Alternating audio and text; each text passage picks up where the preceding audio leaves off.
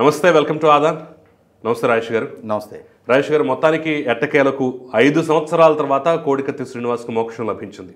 ఆంధ్రప్రదేశ్ గౌరవ హైకోర్టు అతనికి బెయిల్ మంజూరు చేసింది. సరే బెయిల్తో పాటు కొన్ని షరతులు కూడా ఎలాగో పెట్టింది అనుకోండి సో ఎంటైర్ ఈ ఐదు సంవత్సరాల పరిణామాలని మీరు ఏ విధంగా విశ్లేషిస్తారు? ఇప్పటికైనా అతనికి ఎంతో కొంత న్యాయం జరిగిందని అనుకోవచ్చా? మీరు ఒక రెండు దశాబ్దాలు వెనక్కి వెళ్తే ప్రముఖ డైరెక్టర్ బాలచంద్ర గారు భానుచందర్ అర్చనాలతోటి నిరీక్షణ అని చెప్పని ఒక సినిమా తీశారు. సూపర్ హిట్ సినిమా. ఆ సినిమాలో భానుచందర్ కూడా యాక్చువల్గా ఫారెస్ట్ ఆఫీసర్ అతను. ఒక తప్పుడు కేసులో మోపబడ్డ కేసులో అతను జైలు పాలవుతాడు.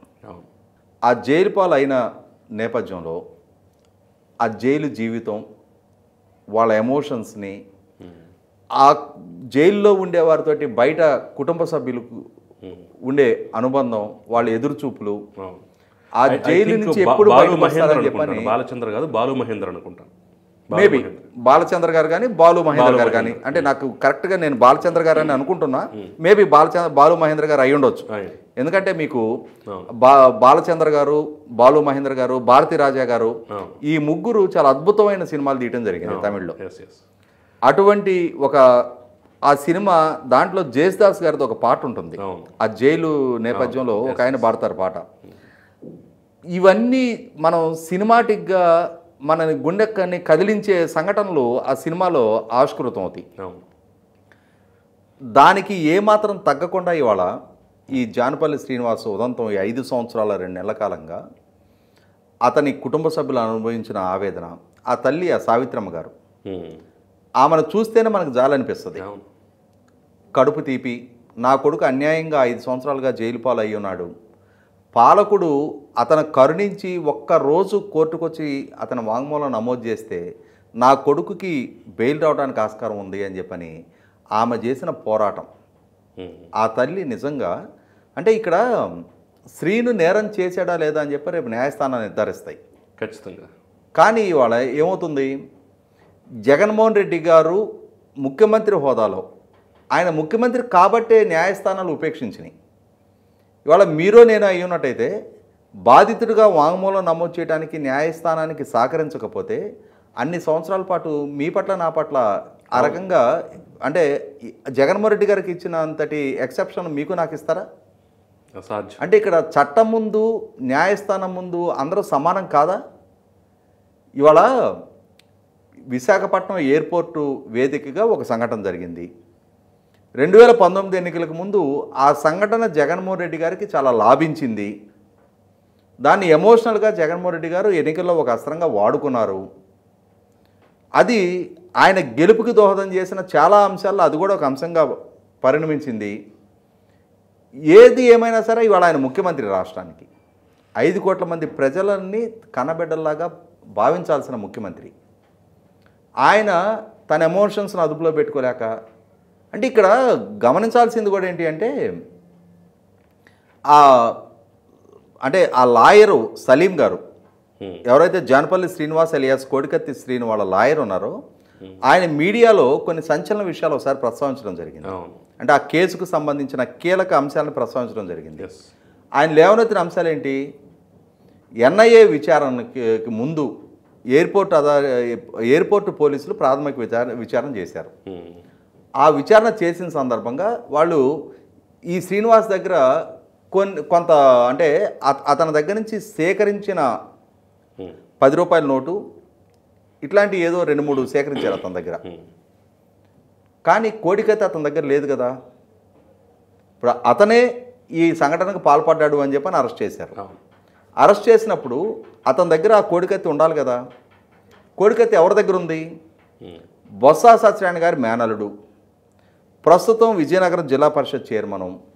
వైసీపీ పార్టీ ఇప్పుడు రీసెంట్గా విజయనగరం పార్లమెంటు అభ్యర్థిగా ఇన్ఛార్జిగా ప్రకటించబడిన మజ్జి శ్రీనివాస్ ఎలియాస్ చిన్ని శ్రీని దగ్గర ఆ కోడికత్తి ఉంది.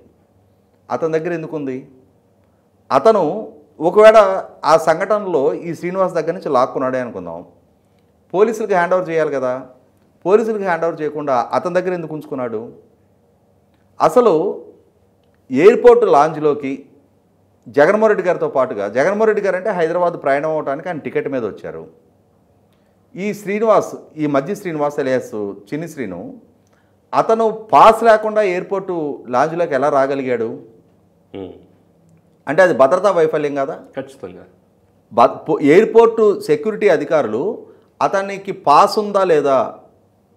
జగన్మోహన్ రెడ్డి గారితో పాటుగా ఎయిర్పోర్ట్ లోపలికి అంటే సెండ్ ఆఫ్ ఇవ్వడానికి అతను లోపలికి వస్తున్నప్పుడు ప్రయాణికుడితో పాటు సెండ్ ఆఫ్ ఇచ్చే వాళ్ళని ఒక పర్టికులర్ బ్యారికేడ్ దగ్గర ఆపేస్తారు. కానీ లాంజ్లో దాకా అతన్ని ఎట్లా అలో చేశారు? ఇవన్నీ అనుమానాస్పదంగా ఉన్నాయి. అసలు ఈ సంఘటన జరిగిందా? నిజంగా ఈ శ్రీనే దానికి పాల్పడ్డా ఈ జానపల్లి శ్రీనివాస్ alias కొడికత్తి శ్రీనివాస్.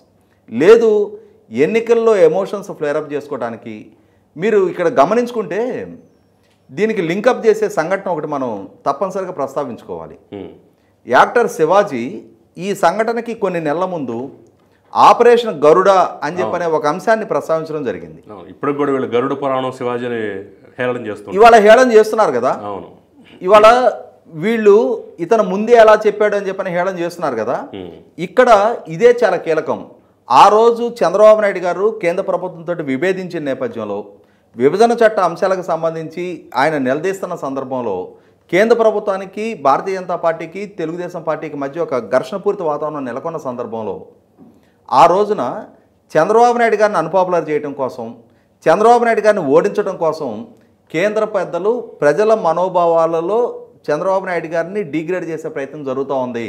ఆపరేషన్ గరుడ అని చెప్పనే ఒక వ్యూహ రచనతోటి వాళ్ళు ముందుకేస్తున్నా ముందుకడుగేస్తున్నారు.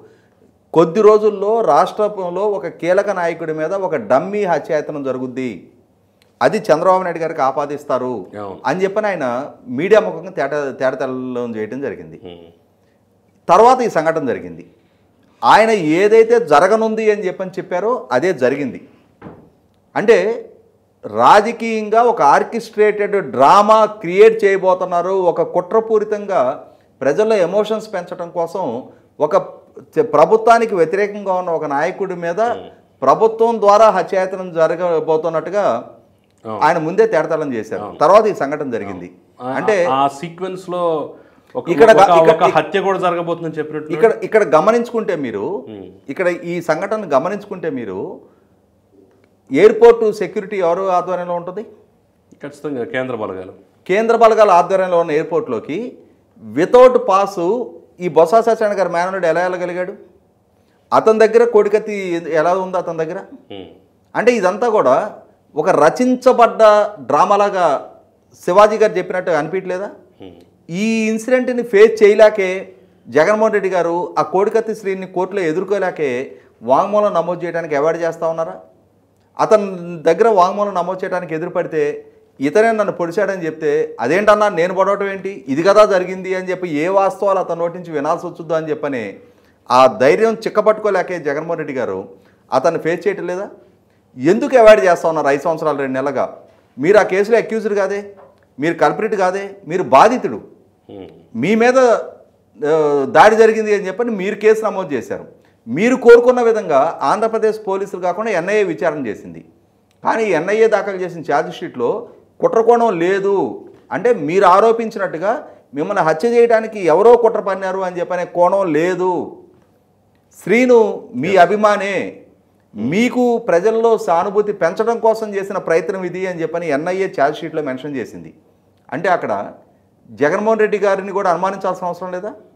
అంటే జగన్మోహన్ రెడ్డి గారు విచారణకు సహకరించకుండా ఆయన హై ఆంధ్రప్రదేశ్ పోలీసుల దగ్గర కేసు నమోదు చేయకుండా ఆయన ఇక్కడ వైద్యం చేయించుకోకుండా ఇక్కడ డాక్టర్ గారు అంటే ఎయిర్పోర్ట్ డాక్టర్ గారు ఇచ్చిన రిపోర్ట్ ప్రకారం half cent less than half centimetre ఘాటు పడింది అని చెప్పారు. అవును. అంటే ఇక్కడ అర్థమవుతున్నది ఏంటి? చిన్న ఇన్సిడెంట్. ఆ చిన్న ఇన్సిడెంట్కి జగన్మోహన్ రెడ్డి గారు హైదరాబాద్ వెళ్ళిపోయారు. చాలా నడుచుకుంటూ వెళ్ళారు ఆయన. ఆయన నేను స్ట్రెచర్ మీద మోసుకెళ్ళాల. స్ట్రెచర్ మీద మోసుకెళ్ళే అంతటి ఇన్సిడెంట్ కాదు అది. ఆయన నలభై సంవత్సరాల వయసు ఆ రోజు ఆయనకి. ఆయన ఏమి తట్టుకోలేని ఏజ్లో కూడా లేరు. తట్టుకోలేనంతటి గాయం కూడా కాదు. ఆయన.